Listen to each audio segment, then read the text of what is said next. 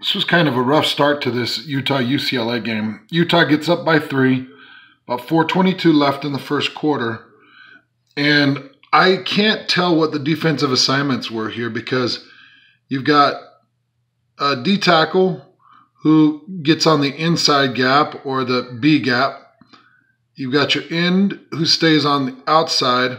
And in between these two right here, I don't know who's got this gap. Chase is going to get locked up. Javelin Guidry is going to get locked up. Julian Blackmon's going to get locked up.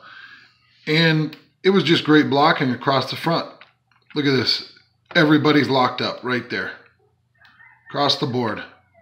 Fighting to the outside, but locked up.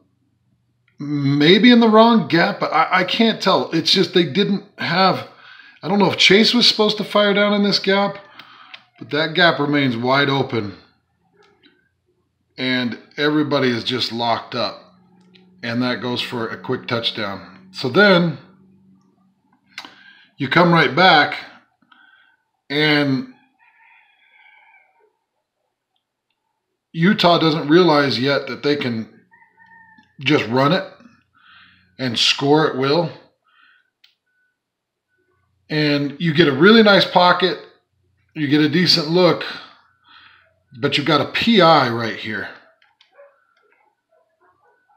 And then that defender just jumps back and intercepts that ball. But there was no question that there's a PI on this play, right? Right there. You can't really see it. It's right there below. But he basically stops him in his route and then jumps backwards and they don't get the call. They get the interception. So kind of a see right there. That's that's impeding the route, and you can't do that.